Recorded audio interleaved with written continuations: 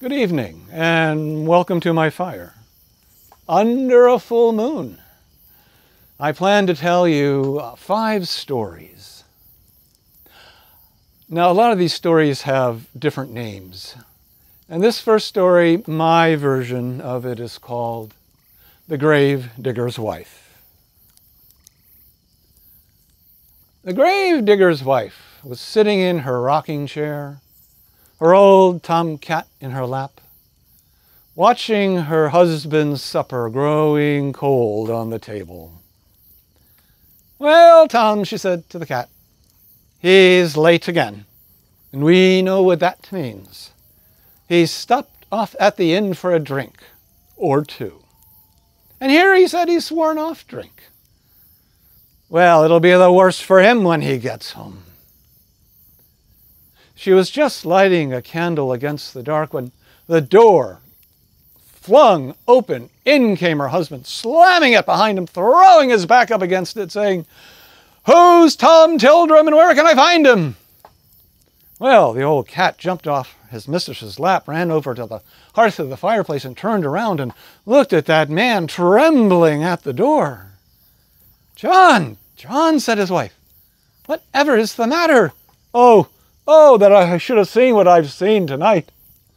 John, sit down, settle yourself. Tell me what is wrong. I, I thought I will, that I will. I, I was just finishing old Mr. Arbogast's grave. Oh, old Mr. Arbogast, has he left us? Well, no one's going to miss him. Ah, well, maybe not, but well, I, I just lit the lamp and I was squaring off the corners when I thought I heard a funeral party coming. And I thought to myself, they're not bringing around old Mr. Arbogast now, not, not without a proper wake, are they? Well, I climbed to the top of my ladder and I, I looked over the edge of my grave. Uh, the moon had riz and there was a fog coming up from the ground, but through it I could see there was a funeral party coming, but it weren't right. It wasn't a priest leading.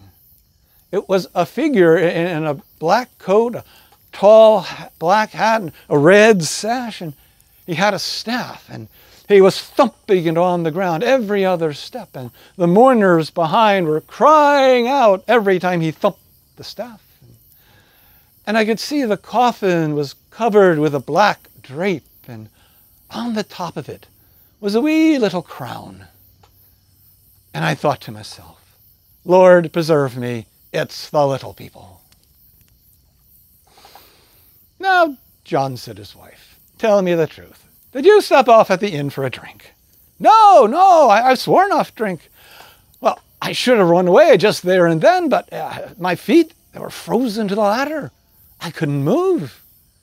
All I could do was watch them coming on, and come they did. And as they got closer, I could see that the pallbearers each had a silver collar. I could see the moon shining off of their sharp teeth, and their eyes glowed red. And as they came closer, I could see their hind legs were crooked. Oh no, it wasn't the little people at all. They were cats. Now, John, Tell me the truth. Just how many drinks did you have? None, none. Well, they came up level to me grave and stopped. And the one in front with the black coat and the tall hat, he turned on his paw. He came over to me and looked down into my grave and said, Tell Tom Tildrum that Tim Tildrum's dead.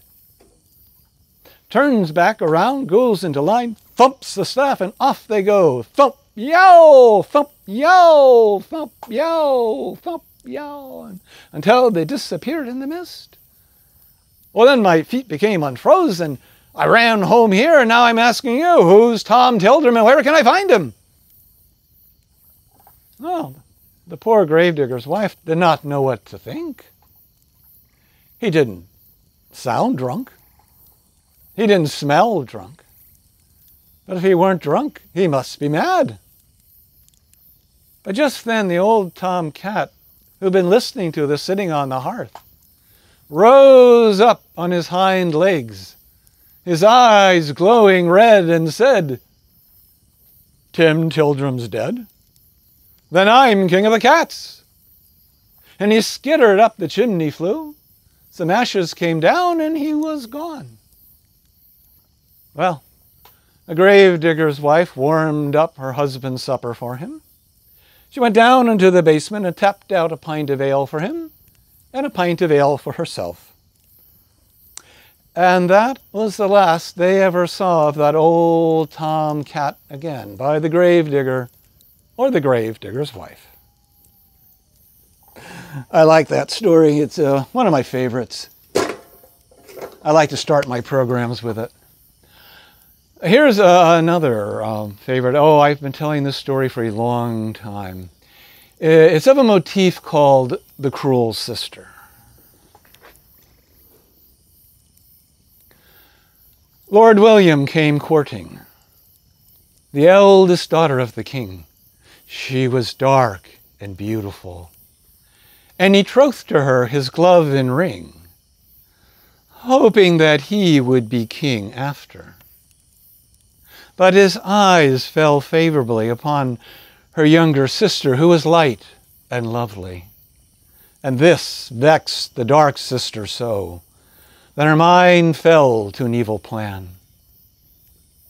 Sister, she said, come with me down to the strand, and we'll go and watch our father's boats come in. Hand in hand they went down to the strand, and the youngest stood upon a rock and looked out across the water. But the dark sister came up from behind and pushed her into the river Binnorie. Sister, cried the younger, give me your hand, and I will do your bidding, whatever it may be.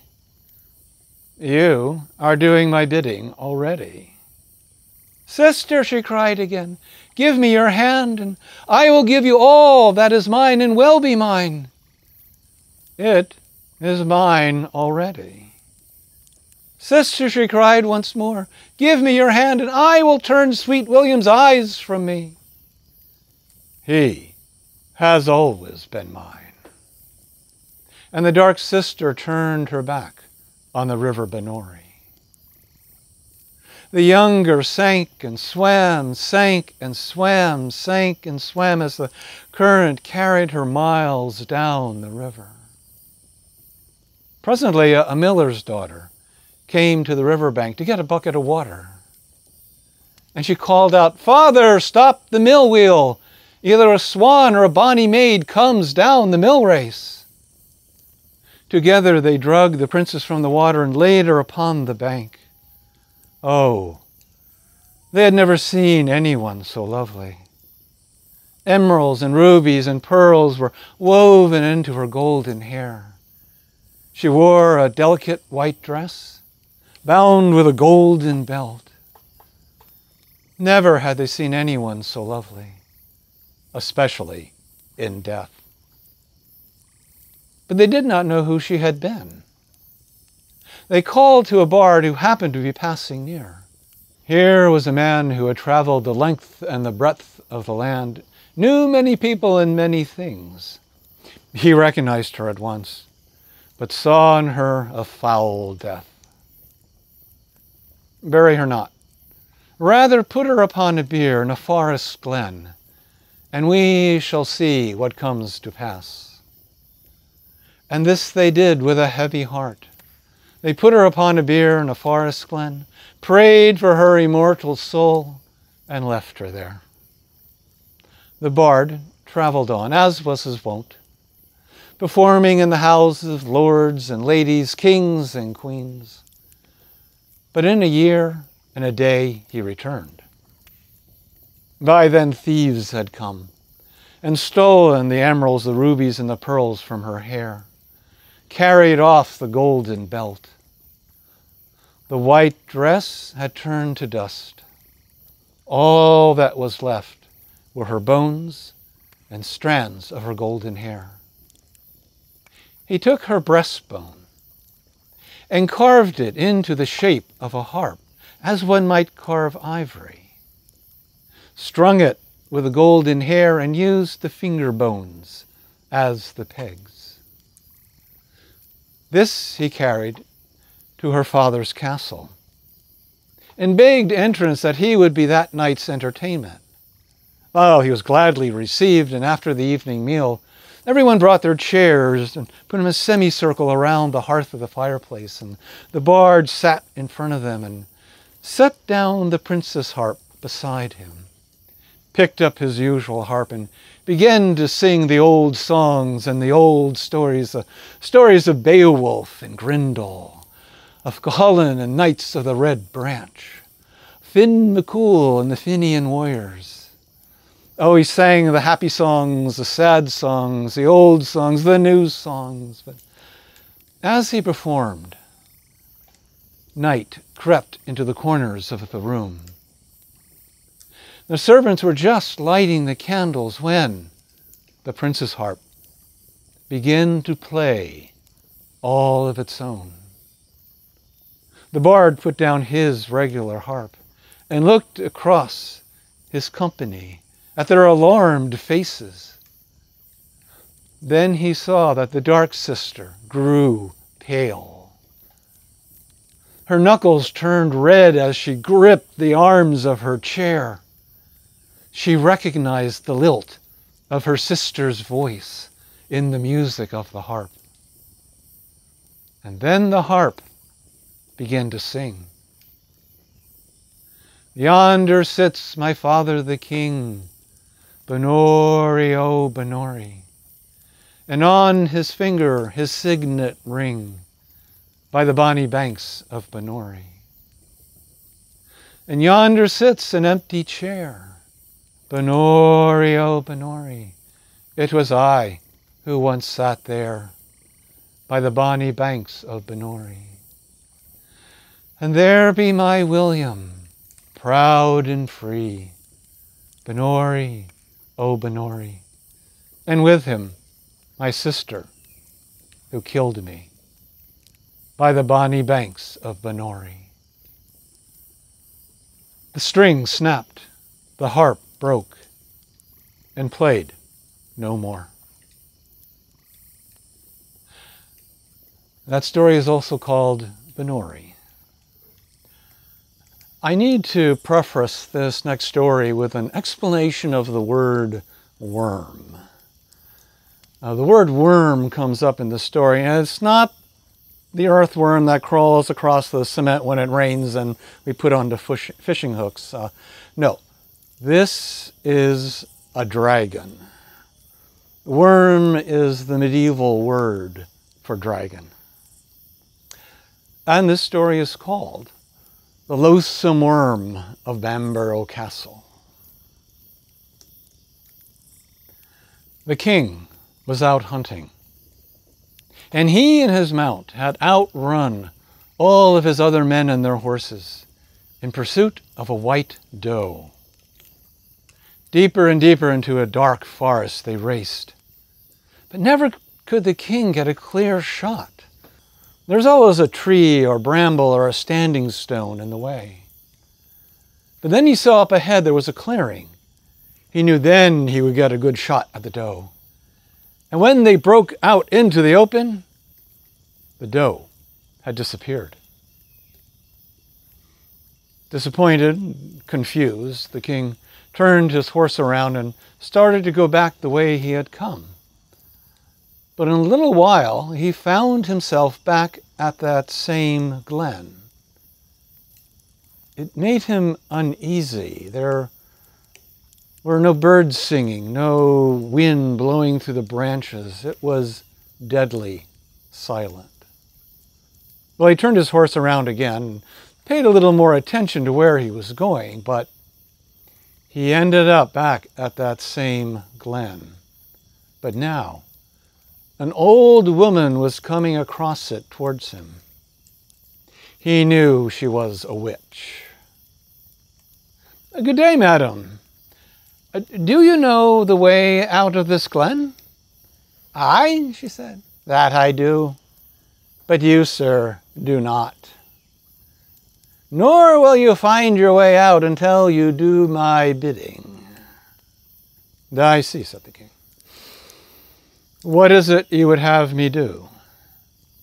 My lord, Your kingdom is without a queen. And this was true. His wife had died a number of years ago and had left him with a son and a daughter.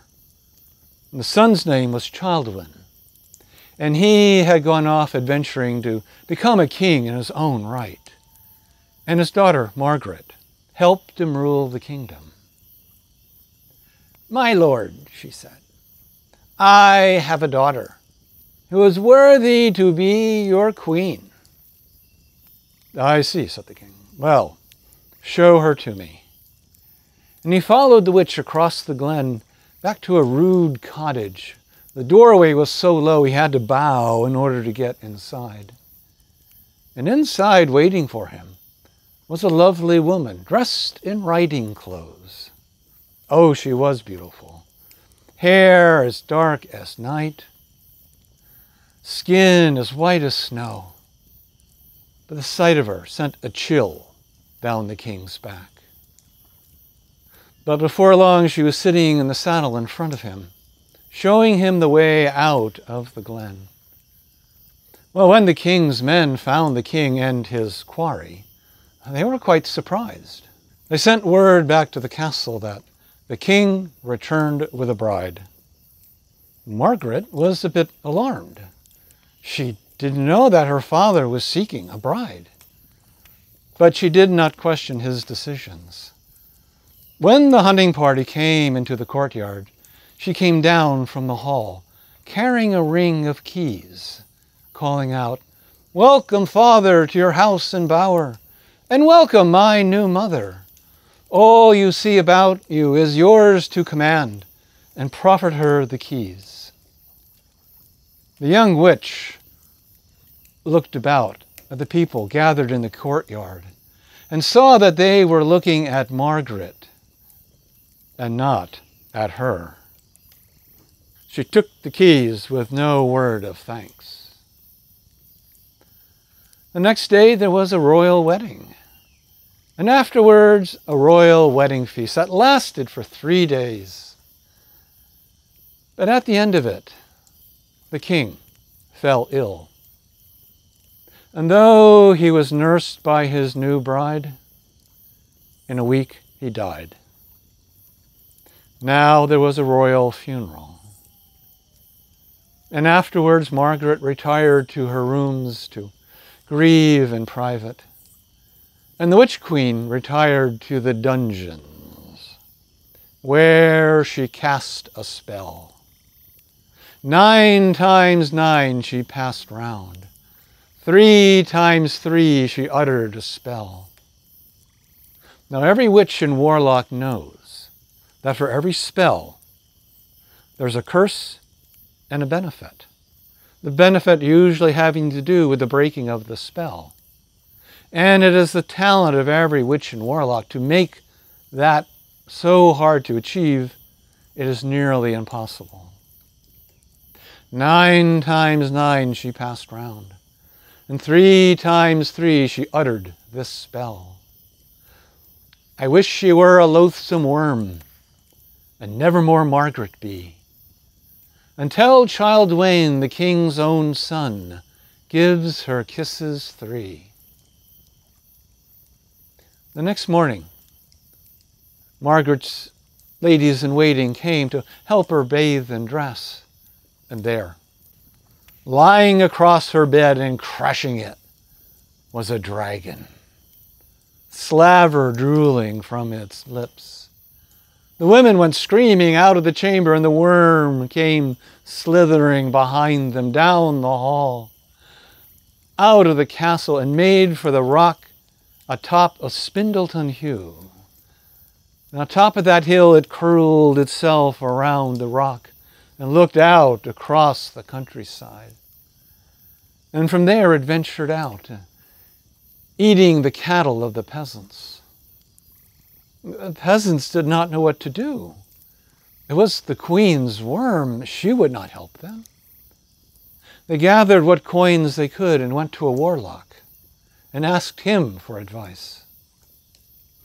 He read through his dusty tomes. He conferred with his familiars, He cast the runes.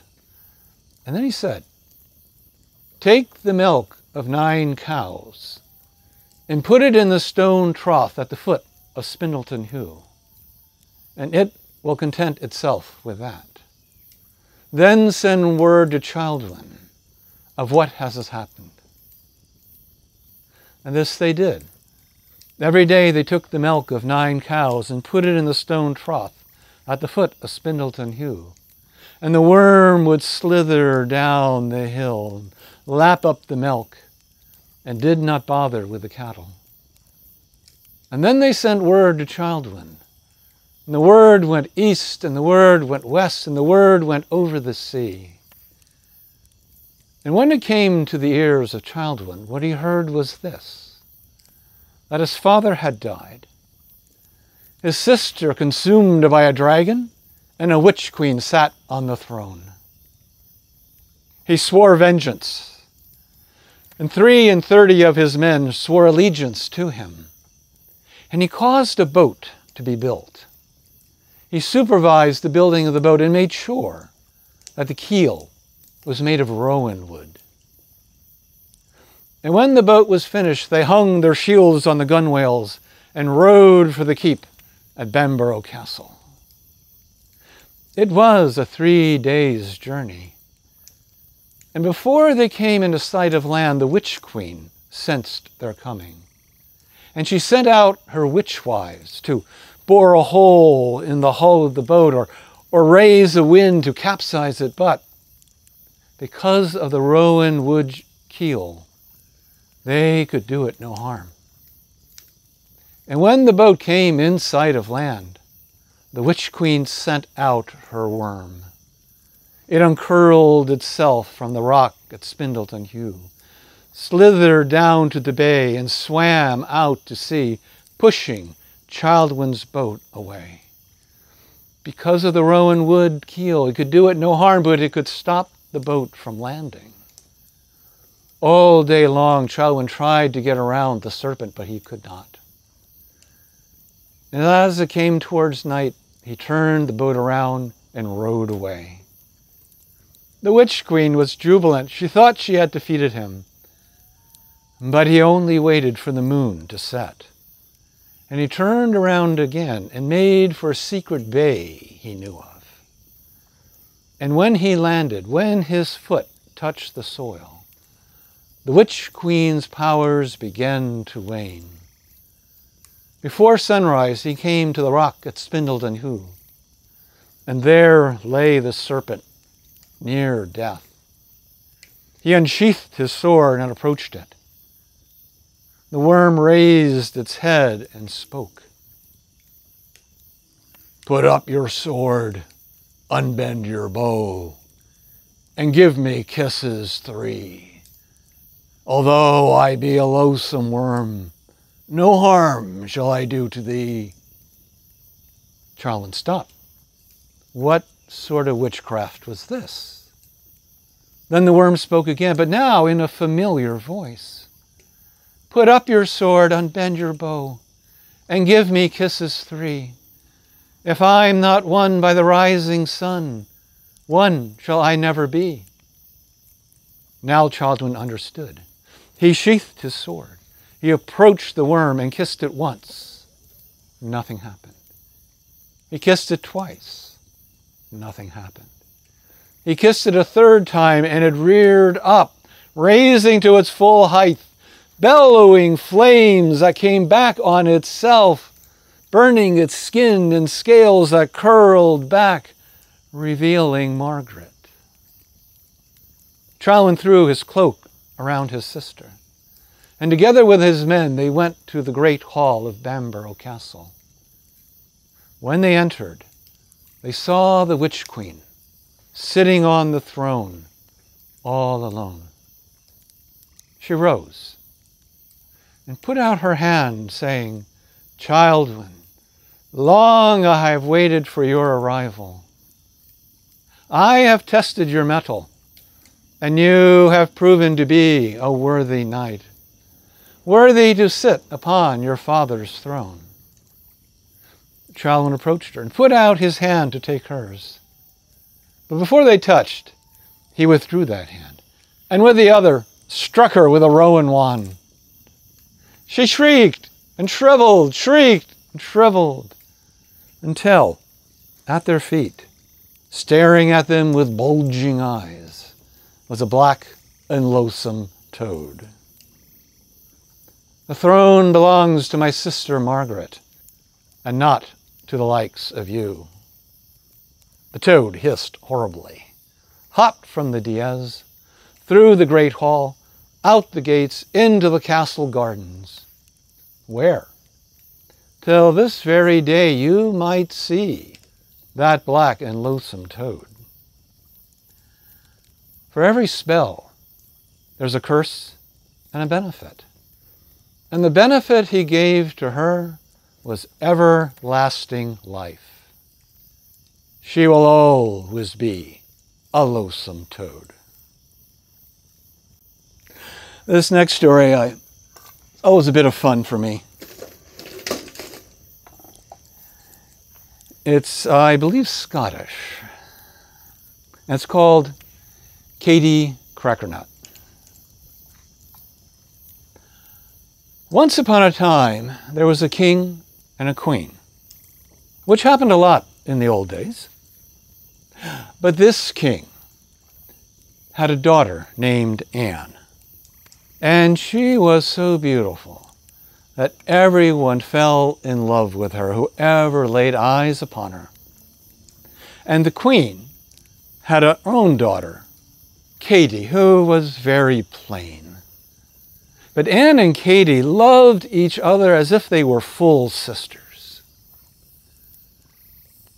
But the queen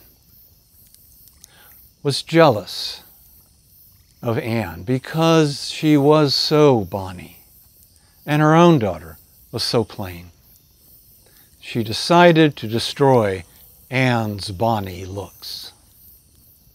She went to the henwife and asked her for advice. The henwife said, Have her come to me in the morning, fasting, and I will see what I can do.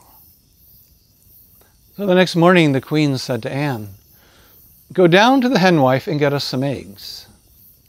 Anne, being the dutiful girl that she was, started out immediately, but she passed through the castle kitchen on her way out and grabbed a crust of bread and nibbled on it on her way to the henwife's house. She got to the henwife's house and asked her if she had some eggs. The henwife said, Lift the lid of that pot, and we shall see. Lion lifted up the lid of the pot and looked inside. Nothing happened. The henwife said, Tell your mum to keep a closer eye on her larder. I have no eggs today. Anne went home and told the queen what the henwife had said, and the queen understood. So the next morning she said, Anne, go down to the henwife today and see if she has some eggs, and escorted her out of the castle to make sure she did not eat anything. Ah, but along the way, Anne ran across some people picking berries, and she stopped to talk with them, and they gave her a handful of berries to eat. So when she got to the henwife's house, she had broken fast. And again the henwife said, Open up the lid and see what's inside. And when she did, of course, nothing happened. The henwife got very angry and said, Tell your mom that the pot won't boil if the fire's away. I have no eggs today. Anne related that strange story to her mother, and the queen understood. The next morning, the queen said, Anne, let us both go down to the henwife and see if she has some eggs. This time, when Anne got to the henwife's home, she was still fasting. And the henwife said, Go lift the lid of the pot and look inside, and we shall see what we shall see. This time, when Anne lifted the lid of the pot and looked inside, her head fell off of her shoulders into the pot, and out of the pot leaped a sheep's head and attached itself to her neck. The queen was satisfied. Katie was mortified. At what her mother had done. She wrapped Anne's head in linen to hide the sheep's head. And then that night, they stole away from the castle, never to return. They traveled for three days until they came to another kingdom. And at that castle, Katy asked if there was food and shelter for herself and her sick sister, and might there be a job she could do. She was given a position in the kitchen. And it was in the kitchen she heard this strange story. The king and queen had two sons, the eldest of which was wasting away with some strange sickness that no one could cure. Stranger still, anyone who stayed up with the prince that night, the next morning had disappeared the king offered a large measure of silver to anyone who could solve this mystery. Katy, brave girl that she was, volunteered. She was given a chair by the hearth of the fireplace in the prince's room where she could keep an eye on him as he slept. All went well until midnight, when the prince sat up in bed, got dressed, went down the hall out of the castle with Katy right behind him, went to the stable, saddled his horse, called his hound, and climbed into the saddle, and Katy jumped up behind him. He did not seem to know she was there. Off they went over the fields into the greenwood, where Katy picked nuts off the trees as they passed by, putting them into the pocket of her apron. After a time, they came to a green hill which the prince stopped his horse in front of him and called out, Open, hill, open, allow in the prince, his horse and hound. And Katy called out, And his lady behind. And suddenly there was a door that had not been there before, opening inward. In rode the prince, and as soon as he was inside, Katy jumped off the horse and hid behind the door, just as another door opened, and out came the fairies to greet the prince. And they led him into the hall where there was light and music, and they began to dance with the prince. And they danced and they danced and they danced and they danced. And watched as the prince collapsed to the ground, and the fairies would pick him up and set him on a couch and fan him until he came to, and then they would dance him some more. Finally, as day approached and the rooster crowed, the prince dashed out of the hall, jumped onto his horse. Katy jumped behind, and off they went, back through the greenwood, over the fields, to the stable where he unsaddled his horse, and back into the castle, up the stairs, into his bedchamber where he got his bed clothing on and laid down. The next morning, when the king came in to see how things had gone, he was pleased to see that Katy was still there and said, How did it go? It went well, she said, but I'll not stay another night unless I get a good measure of gold. The king readily agreed. Well, the next night, it was the same story. At midnight, the prince sat up, got dressed, went down the hall, down the stairs, out of the castle, into the stable, saddled his horse. Katy jumped up behind him, and off they went over the fields into the greenwood, where Katy picked nuts and put them in her pockets as they went along. Came to the green hill, and he called out, Open, door, open, allow in the prince, his horse, his hound, and his lady, she called.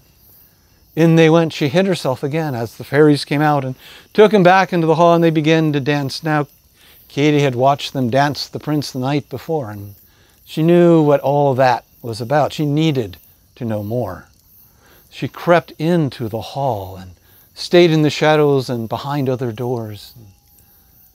After a time, she saw a little toddler fairy carrying a wand. And she heard one of the fairy women say to another, Ah, if Katy only knew. Three taps of that wand, and it would cure her sister Anne's head. But she cannot know and she will not know. Well, Katie looked at that little toddler and she took out one of the nuts and she rolled it across the floor to the toddler. And he, he saw it and he bent down, he picked it up. She rolled another, not as far. He came over and picked it up, and she rolled another. And he came forward and picked it up. She kept rolling nuts, and he kept picking them up until he had so many nuts, he had to put down the one in order to pick up another one. And Katie reached out and she picked up the one and put it in her pocket. That morning, when the rooster crowed and the prince ran out and she jumped up behind the horse and they went speeding back to the castle and he unsaddled the horse and went up and laid down in his bed again. She went straight to Anne's room. And with three taps of that wand, the sheep head disappeared and Anne was returned to her true form. That morning, when the king came in, there was Katie, sitting by the hearth, cracking nuts and eating them. Well, said the king, how did it go tonight? Better, she said. But I'll not stay another night unless I can marry the prince. Well, the king hesitated. But if the prince died, well, he agreed. That night, the prince sat up, got dressed, went down the hall, out to the stables, and away they went again across the fields into the greenwood where Katie picked some more nuts. This time, as she stole around through the hall, watching the prince being danced to death, there was that toddler fairy again. This time carrying a birdie. And Katie heard one of the fairy women say, Ah, if Katie only knew. Three bites of that birdie, and the prince would be cured. Well, out came the nuts rolling across the floor, and on came that toddler, picking up the nuts, picking up the nuts, until he had so many nuts he had to set down the birdie to pick up another one. Katie reached out, picked up the birdie, and put it in her pocket. That morning, when the rooster crowed and the prince dashed out of the hall, jumped onto his horse with Katie behind him, they raced back to the castle. He went back up the staircase into his bedchamber, lay down on his bed, looking as pale as death. The plucked the feathers from the birdie, put it on a spit, and roasted it over the fire. Soon, the room filled with a savory odor. The prince opened his eyes and said, Oh, if I might have a, a bite of that birdie and she gave him a bite of the birdie. He rose to his elbows and said, Oh, if I might have another bite of that birdie. And she gave him a second bite. He sat up in bed and said, Oh, if I could have a third bite of that birdie. And she gave him the rest of the birdie. And when he had finished it, he rose up, hale and hearty. When the king came into the bedchamber that morning, there was Katie and the prince sitting by the hearth, cracking nuts and eating them. Well, in the meantime, the younger brother, the young prince, had spotted Anne. And just like everyone else, he fell in love with her. So when the marriage took place, it was a double marriage. The well daughter marrying the sick prince, and the sick daughter marrying the well prince. And they were happy marriages. As you might guess, they lived long and happy lives and never drank from an empty cup. And now it is time for the, the fifth and last story. Again, one of my favorites. It's called The Witch's Cloak. There was a time, it wasn't my time and it wasn't your time, but there was a time when there was a prosperous farm near the town of Clonmel, at the foot of Mount Slievenamon. It was a prosperous farm because everyone who lived there, the farmer, his wife, his children, and a few servants, worked very hard.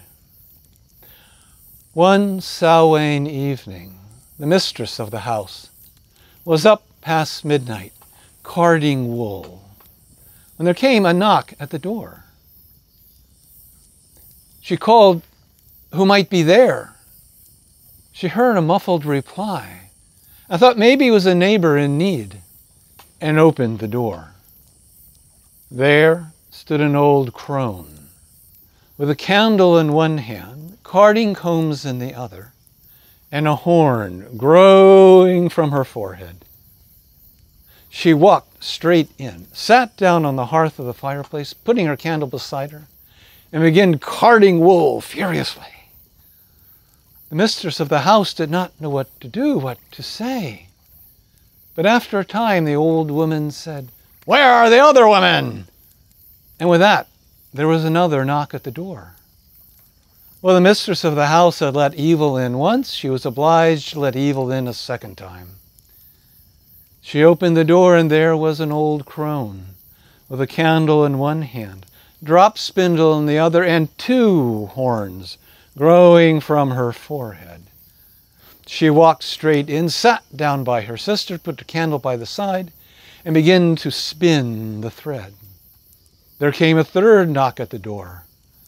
There was a crone a candle in one hand, a hand loom in the other, and three horns growing from her forehead.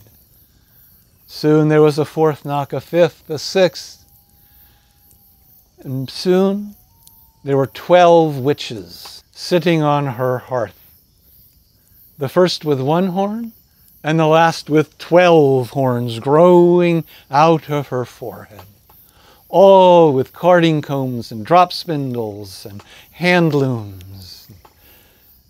The candles beside them threw their shadows up against the wall, all was flickering. And then they began to sing an old song in Old Irish. And as they sang, the lady of the house could feel herself sinking. And when she was under their spell, they called out to her, Make us a cake! She no longer had a will of her own. She rose and went to the kitchen and got the ingredients to make a bread cake for the witches. But her eyes would not fall upon a pan to get some water. And the witches called out, Get water with a sieve! She took a sieve, left the house, went down to the spring, and tried to ladle water out of the spring with a sieve. But the water fell through. But all she could do was sit there, ladling the water, letting it fall through, ladling the water, letting it fall through. Finally, the spirit of the spring took pity on her and said, Woman, line the sieve with yellow clay and then coat it with green moss. Then it will hold water. But do not give the water to the witches. They have finished the cake using the blood of your children. Rather, go to the north corner of your house and call out three times. Look to the north. The mountain of the Fenian women is ablaze, as is the sky. And the witches will then leave. Go into your house, bathe the feet of your dead children in the water, and pour it on the threshold of the doorway. Bolt and lock the door. Then go to the kitchen and get the bread that the witches were making. Break it and put it into the mouths of your children. Then go and find the cloak that they were making and put it in a chest, half in and half out. Close and lock the lid. Then find yourself a dark corner to hide in and wait. This she did She went to the north corner of her house, and three times she called out, Look to the north, to the mountain of the Fenian women, which is ablaze as is the sky. The door of her home burst open, and out came the witches, screaming, and leapt into the air and flew off to their home in Mount Slievenamon. She went into the house. She bathed the feet of her dead children in the water, poured it on the threshold of her doorway, bolted, locked the door. Then she went and found the cake that the witches had been making in the kitchen, broke it, and put it in the mouths of her children. And when she did that, color returned to their cheeks and breath to their lips. She uttered a prayer to the spirit of the spring. Then she went and found the cloak, put it in a chest, half in, half out, closed and locked the lid. Then she found a dark corner to sit in, and she waited. She didn't wait long. The witches returned, screaming and howling. Let us in! Let us in! Door, they called. Door, let us in! And the door answered, I cannot let you in. Water that has bathed the feet of innocent children has been poured over my threshold. You cannot tread here. Cake, cake, cried the witches, let us in. I cannot let you in.